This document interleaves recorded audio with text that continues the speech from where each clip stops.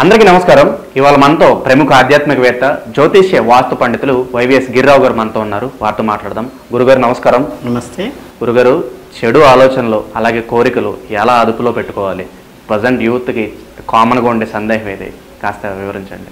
ఇవి మీరు చెప్పింది ఏంటంటే బాగా ఏంటంటే శాస్త్రం కంటే కూడా కూడా యూత్కి బాగా పనికొచ్చేది నీడైనది ఇది చెడు ఆలోచనలు అనే దానికంటే కూడా ఏకాగ్రత చదువులో బాగా కాన్సన్ట్రేట్ చేయాలంటే ఎలాగో ఇవన్నీ వచ్చేటప్పుడు ఏంటంటే మనకి ఈ త్రికరణ శుద్ధి అనేది ఒకటి ఉంది. అంతఃకరణ శుద్ధి అంటే మనస్సాక్షిగా. త్రికరణ శుద్ధి అంటే ఏంటంటే మన చేత మన మాట మన ఆలోచన ఒకటే అయి ఉండటం త్రికరణ శుద్ధి. అంటే మనం జనరల్గా స్తోత్రాలు చదువుతుంటాం. ఏదో విశ్వాసం పారాయణంలో అది ఇంకేదో పారాయణ చేస్తుంటాం కదా. మనకి ఒకసారి నోటుకు వచ్చేసింది ఆ స్తోత్రం. దేవుడి ముందు కూర్చుని స్తోత్రం చేస్తూ వీడు ఎక్కడెక్కడ ఆలోచిస్తుంటాడు. ఆఫీసర్ పిలిచారు కదా ఈరోజు మీటింగ్ ఉంది కదా నేను ఇంటికి వెళ్ళాలి కదా అని వెయిట్ చేస్తుంటాడేమో కారు వచ్చి ఉంటుందేమో నేను వెళ్ళాలి. చేసేదేమో భగవత్ స్తోత్రం. దేవుడు పటం ముందు కూర్చుని ఉంటాడు. ఆలోచన ఎక్కడెక్కడో తిరుగుతుంటుంది. అది నిష్ప్రయోజనము అన్నారు. అదేంటంటే మనస వాచ కర్మణ అని పూర్వం విన్నాం మనం. ఈ మూడు కూడా సింకర్నైజ్ అయితే దాన్ని త్రికరణ శుద్ధి అంటారు. ఈ త్రికరణ శుద్ధితో ఏ పని చేసినా అల్టిమేట్గా హిట్ అవుతుంది అది. అర్థమైందా?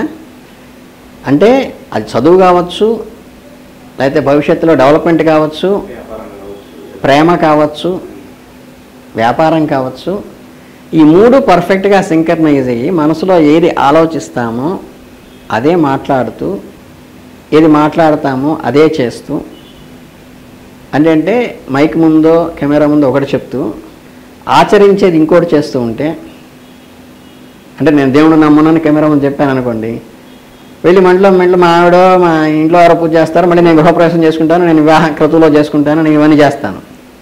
నేను వాస్తు పాటితేనని కెమెరా ముందు చెప్తాను బయటికి వెళ్ళి వాస్తు పర్ఫెక్ట్గా ఉన్న ఇంట్లో నేను ఉంటాను. అంటే ఇది లేనప్పుడు ఏంటంటే మనకి లోపల జీలు రాదు. ఫస్ట్ పాయింట్ ఎదుటి వాడి దగ్గర నుంచి కూడా గౌరవం రాదు. మీరు హానెస్ట్గా సిన్సియర్గా ఏ పని చేసినా అంతఃకరణ శుద్ధితో అది సక్సెస్ అవుతుంది. ఇందులో దానికోసం ఏం చేస్తారంటే మనకి ఈ జపం కంటే ఫస్ట్ ప్రాథమికంగా ఏకాగ్రత పారాయణ అని చెప్తాం హైందవంలో. పారాయణ అంటే ఏం చెప్తామంటే ఒక బుక్ పట్టుకొని దాన్ని చూస్తూ చదవమంటారు. అది ఏ సహస్రనామం అయినా సరే. చదివినప్పుడు ఏంటంటే మన ఐస్ ఏం చేస్తున్నాయి? ఆ నామాన్ని చూస్తున్నాయి. చూస్తున్నప్పుడు మనం నోరుతో చదవమన్నారు. నోరేం చేస్తుంది? ఆ స్తోత్రాన్ని చదువుతోంది. తర్వాత మనం చదువుతున్నది పక్క చాంటింగ్ పది పది మందికి కలిసి చదివేటప్పుడు వాళ్ళు ఏం చదువుతున్నారో గమనిస్తూ వాళ్ళతో కలిసి చదవమన్నారు. ఇయర్స్ ఏం చేస్తున్నాయి? మనం చదువుతున్నది వింటున్నాయి. తర్వాత అందరితో సింకర్నైజ్గా అవుతుంది. మన అప్ అండ్ డౌన్స్ వాళ్ళకి స్వరం డివియేషన్ అవుతుందని గమనించుకుంటూ చేయమన్నారు. మనసు ఏం చేస్తుంది? అదే చేస్తుంది. అంటే కళ్ళు నోరు చెవులు మనస్సు కూడా జపం చేస్తే నువ్వు మనసులో కూర్చొని ఏదో ఆలోచిస్తుంటావు అని చెప్పింది అన్న. స్తోత్రం నోటుకు వస్తే వేరే. ఇది ఇది ఈ మూడు చేసినప్పుడు ఏమవుతుందంటే మీకు పర్ఫెక్ట్గా ఆ చేసిన చాంటింగ్ ఆ గ్రూప్తో చేసిన చాంటింగ్ చేసిన కాసేపు కూడా మనస్సు పక్కకి వెళ్ళే అవకాశం లేదు. ఎందుకంటే ఇంద్రియాలన్నీ దాని మీద కాన్సన్ట్రేట్ చేస్తున్నాయి కాబట్టి.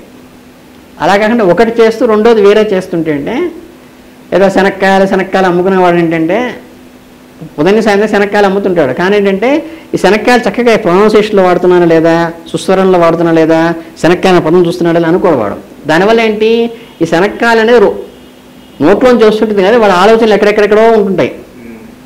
అలా చేసే జపం కానీ అలా చేసే స్తోత్రం కానీ అలా చేసే చదువు కానీ అలా చేసే ఉద్యోగం కానీ అవి పరిణతి చెందవు ఉత్తీర్ణత చెందవు అనేది చెప్పారు. ఇప్పుడు మీకు పారాయణంలో ఆధ్యాత్మికలో ఏం చేస్తున్నామో విద్యార్థులకి చదువు రావాలన్నా కానీ ఆలోచనలు పక్కదోర పట్టకుండా ఉండాలన్నా కానీ ఇదే సిస్టమ్ ఫాలో కావాలి. అంటే ఏంటి? నా ఉద్దేశంలో పుస్తకం చదివేది స్పష్టంగా పెద్దగా పైకి చదివినప్పుడు మేము పారాయణ చేసేటప్పుడు ఇలా చేస్తాము మీరు ఫిజికల్గా చదువు చదువుకునేటప్పుడు కూడా పెద్దగా చదివినప్పుడు నోరు అది చేస్తుంటుంది. కళ్ళు దాన్ని చూస్తూ ఉంటాయి. పెద్దగా చదివినప్పుడు చెవులతో దాన్ని వింటూ ఉంటాం. సో కాన్సన్ట్రేషను మన సబ్జెక్ట్ నుంచి డివియేట్ కాకుండా ఉంటుంది.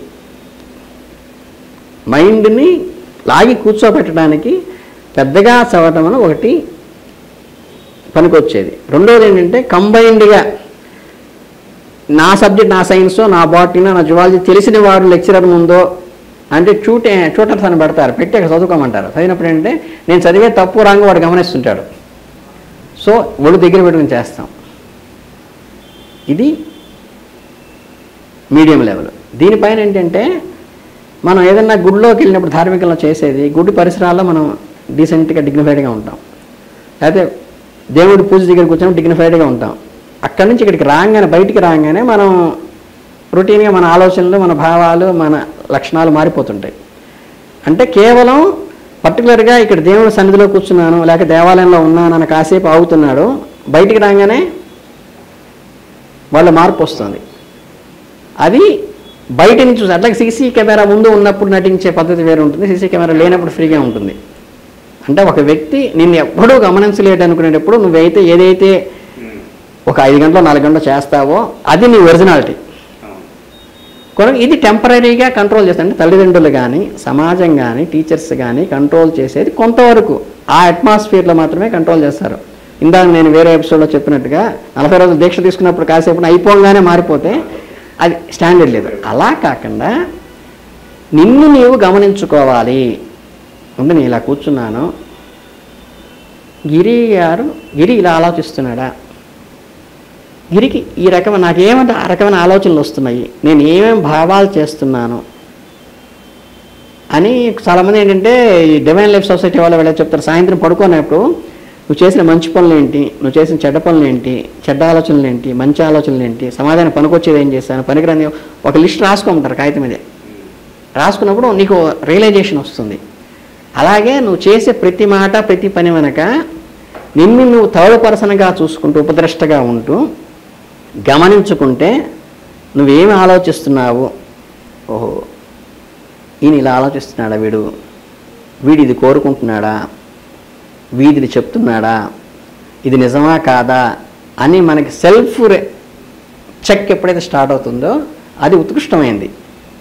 ఫస్ట్ పది మందిలో గురుతులతో లేకపోతే గుళ్ళోనో లేకపోతే ఏంటంటే టీచర్స్ అట్మాస్ఫియర్ తల్లిదండ్రుల అట్మాస్ఫియర్లో ఉన్నది కొంతవరకు వస్తుంది. దాన్ని పాలిష్ పెట్టుకుంటే నీకు నువ్వు సెల్ఫ్ చెక్ చేసుకోవటం వస్తుంది. ఎప్పుడైతే వస్తుందో ఇంకోటి ఏంటంటే భీతి అనేది హైందవంలో కానీ లేకపోతే ఏంటంటే ధార్మిక ఆస్తికులకి మేము చెప్పేది ఏంటంటే ఇప్పుడు తల్లిదండ్రులు చూస్తారని ఎలా భయం ఉందో గుళ్ళో ఉంటే అని ఎలా భయం ఉందో మనం చెడు చేస్తే కర్మ సిద్ధాంత ప్రకారం మన చెడు రిఫ్లెక్ట్ అవుతుంది మంచి చేస్తే మంచి జరుగుతుంది అని దైవ భీతి ఎవరికైతే ఉంటుందో చట్టం మీద గౌరవం ఎవరికి ఉంటుందో వాడికి పాపభీతి ఎవరికి ఉంటుందో వాళ్ళకి మంచి చెడు విఘ్నత వస్తుంది లోపల. ఈ విఘ్నత ఉన్నవాడికి కనుక సెల్ఫ్ చెక్ చేసుకోవడం మొదలెడితే వాడు తెలియకుండా వాడి ఆలోచనలన్నీ కూడా వాడి కంట్రోల్లోకి వస్తాయి. అర్థమైనా ఈ పాపభీతే లేకుండా ఎన్విరాన్మెంట్లో పెరిగి ఆ తప్పేంటి? అనే ఎన్విరాన్మెంట్లో వాడు పెరిగినప్పుడు అంటే పేరెంట్స్ దగ్గర టీచర్స్ దగ్గర లేకపోతే వాడు ఉన్న పరిసరాల్లోనూ వాడు రెస్ట్ ఆఫ్ ది లైఫ్ కూడా ఈ దైవభీతి కానీ పాపభీతి కానీ లేనప్పుడు వాడి జీవితం కానీ వాడి ఎండింగ్ కానీ వేరే రకంగా ఉంటుంది. సో మీకు ఆలోచనలు చెడు ఆలోచనలు కంట్రోల్ కావాలన్నా చెడు మీన్స్ ఏంటంటే మనం చేసే పని వల్ల కానీ మనం మాట్లాడే మాట వల్ల కానీ దాని రిఫ్లెక్ట్ని ఎదుటివాడికి బాధ కలిగిస్తుందా దుఃఖం కలిగిస్తుందా చెడు చేస్తుందా మంచి చేస్తుందా అనేదే చెడు ఆలో మంచి చెడు ఏంటంటే అదే కంపారిజన్ అది గమనించుకుంటూ ఎప్పుడైతే ఎన్విరాన్మెంట్లో ఉండే ప్రొటెక్షన్ ముందు ఉండాలి టీనేజ్లో తర్వాత మెచ్యూర్ అయిన తర్వాత ఏంటంటే టీనేజ్లో కొట్టి చదివిస్తారు టీచర్లు. తర్వాత పీసీకి వెళ్ళిన తర్వాత ఏంటంటే నువ్వే లైబ్రరీకి వెళ్ళి చదువుకోవాలి. అంటే ఇక్కడ అలవాటు పడాలి. చదవడానికి చదువు మీద ఆసక్తి రావాలి. వస్తే అక్కడ చదువుకుంటాడు. లేదంటే అక్కడ ఎవడు పట్టించుకోడు. చదివావు లేదా ఎవడు అడగడు. లైబ్రరీకి వెళ్ళకుండా చక్క హాస్టల్లో పడుకుని సినిమాలు చూస్తున్నా సెల్ పెట్టుకుని ఎవడు అడగడం. సో లైఫ్ మొత్తం వెళ్ళిపోతుంది. అనేది ఫస్ట్ తల్లిదండ్రుల్లో సమాజంలో టీచర్స్లో రావాలి ఆలోచన కంట్రోలు అది అలవాటుగా వీడికి రావాలి. వీడిని వీడు థర్డ్ పర్సన్గా చెక్ చేసుకోవడం రావాలి.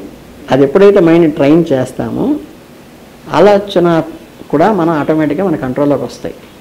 మనసు చెప్పిన చోటకల్లా మనం పోకుండా దాన్ని ఎప్పుడైతే దాని ఇష్టపడింది ఇవ్వకుండా కొన్నాళ్ళు ఆపుతూ ఉంటే మనం చెప్పిన మాట అది వింటాం అలవాటు అవుతుంది సాధనలో ప్రధానంగా చెప్పేది అదే.